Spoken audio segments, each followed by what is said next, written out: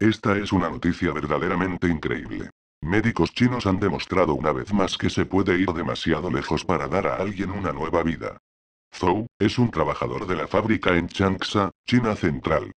En un día de trabajo cuando Zhou estaba ocupado trabajando en la fábrica, por desgracia, una máquina de hoja que gira, le cortó la mano izquierda.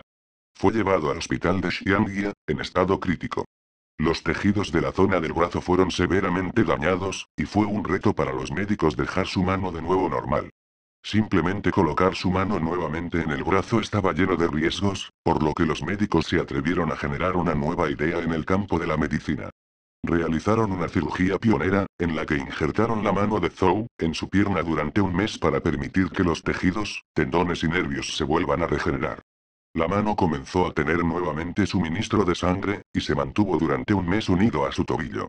Después de ese tiempo, y durante 10 largas horas de cirugía, los médicos volvieron a unir la mano de Zhou a su brazo. Actualmente Zhou se está recuperando y ha comenzado a mover sus dedos. Una verdadera hazaña médica, hasta la próxima.